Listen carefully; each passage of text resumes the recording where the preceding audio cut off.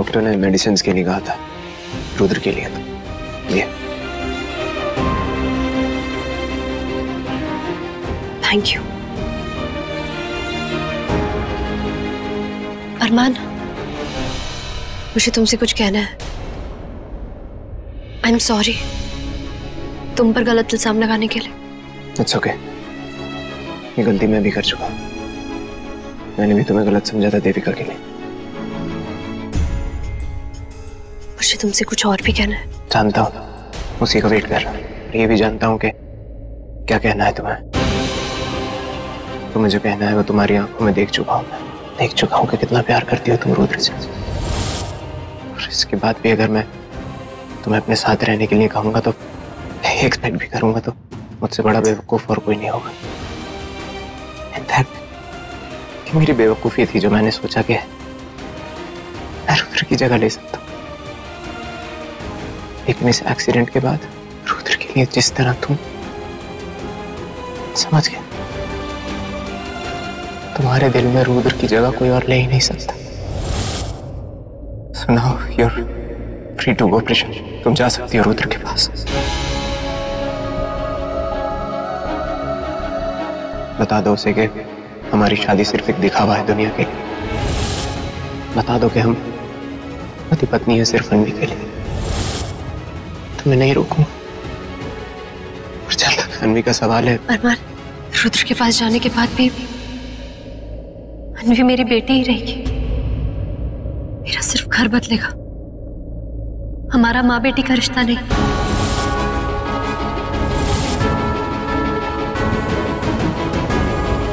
तुमने डिसीज़न ले लिया। तुम्हारे इस डिसीज़न से मैं तो खुद को संभाल लूँगा पर पता नहीं अनवी कैसे रिएक्ट मैं समझाऊँगी उसे। तुम टेंशन मत लो। मैं दिल्ली जाकर उसे समझाऊँगी।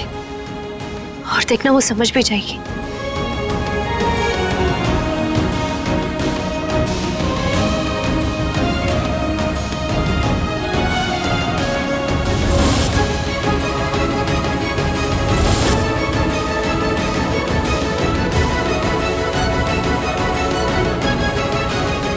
अरमान तुम जो फील कर रहे हो, मैं समझ रही हूँ। लेकिन मैं कुछ नहीं कर सकती। मैं हेल्पलेस हूँ। तुम बहुत अच्छे हो, अरमान। तुमने मेरे लिए जो किया, सारांश के जाने के बाद मुझे बिखरने से बचाया।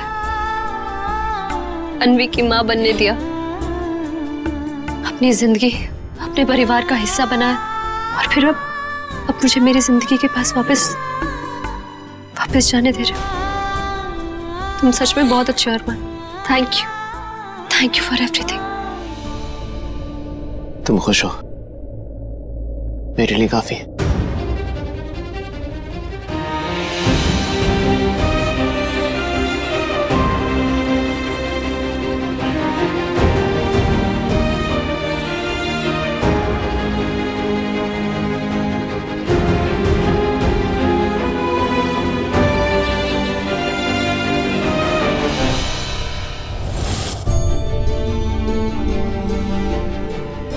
इसका मतलब इसका मतलब प्रिशा मेरे रुद्र के पास वापस आने वाली है। फिर से जी उठेगा मेरा बच्चा। मेरा लाख शुक्र मुझे पता था, मैं जानती थी ये दोनों एक दूसरे से ज़्यादा देर अलग रह ही नहीं सकते। प्रिशा अरमान को छोड़ने वाली है? उसने सोच समझकर ये फैसला लिया होगा ना? इ- इसका असर तो सीधा अनवी पर पड़ेगा। मुझे प्रिशा से बात करनी पड़ेगी। माँ क्या हुआ? आप यहाँ क्यों बैठे हो? रुद्र बुला रहे चलो। प्रिशा मुझे दो मिनट बात करने थी वहीं कर लेना। चलो। नहीं मुझे रुद्र के सामने नहीं बात करनी। यहाँ बैठो।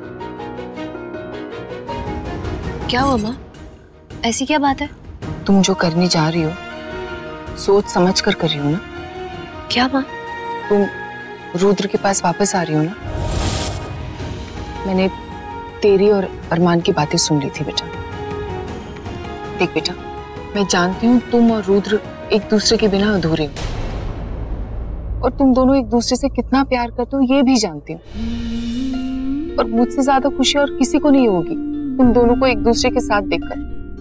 लेकिन बेटा मैं नहीं चाहती कि तुम कोई भी फैसला जल्दबाजी में लो, क्योंकि आगे जाके तुम्हें अपने फैसले पर कोई दुख या पछतावा नहीं होना चाहिए। अरमान की पत्नी हो, अंधी की माँ हो, इसलिए जो करना, सोच समझ कर करना। क्योंकि मैं सिर्फ़ तुम्हारी खुशी चाहती हूँ, बच्चे। मेरी खुशी कहाँ है? किसके साथ है? ये तो आप अच्छी तरह से जानते हो, और अब चिंता मत करो। मैंने जो भी फैसला लिया है, सोच समझ कर लिया इस एक्सीडेंट ने मुझे अंदर से हिला दिया। मेरे सामने वो सच आ गया जो मैं जानती थी लेकिन मानने को तैयार नहीं थी। कि रुद्र मेरी ज़िंदगी है। मैं उसके बिना रह ही नहीं सकती माँ। और अनवी वो तुम्हारे बिना रह पाएगी? उसको मेरे बिना रहना ही नहीं पड़ेगा। मैं उसके साथ रहूँगी ना। उसका ख्याल रखूँगी उसके साथ टाइम स्पेंड करूँगी। मैं दिल्ली जाके उसे समझाऊँगी भी और वो समझ भी जाएगी। तो फिर ठीक है। बस मैं नहीं चाहती कि हमारी वजह से किसी का दिल दुखे। फिर वो चाहे कोई भी हो। ऐसा कुछ नहीं होगा। लेकिन ये भी ज़रूर है। खुश होने का हक हमें भी तो है ना। तू अपने घर वापस आ रही है। हमारे पास, अपने रुद्र के पास। मैं बहुत खुश हूँ।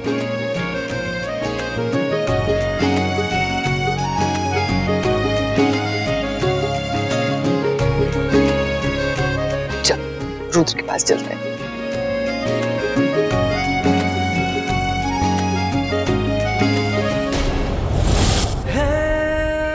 हाँ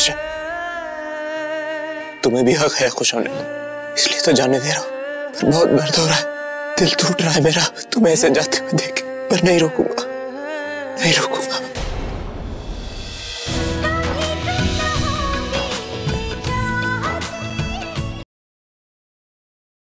और तेरी मेरी डोरियाँ आज शाम सात बजे स्टार प्लस पर।